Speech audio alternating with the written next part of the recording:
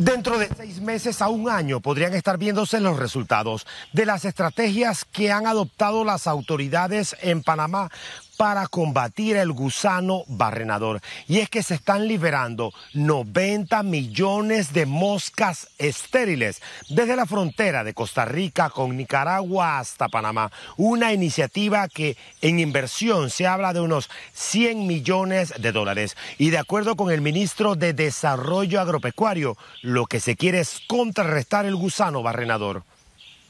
La técnica es regar todas las moscas fértiles desde Nicaragua hacia Panamá, controlarlas y nuevamente retenerlas en el tapón de Darién. Así que yo creo que en el máximo de seis meses, un año, con toda la inversión y la, logística atómica, porque son, esto se obtiene mediante radiaciones, el gobierno de los Estados Unidos y el apoyo de Panamá, nosotros estaremos garantizando este proyecto nuevamente a prácticamente su extinción del gusano en los próximos 12 meses.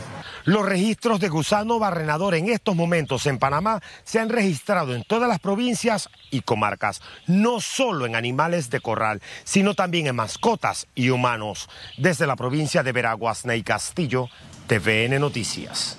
Bueno.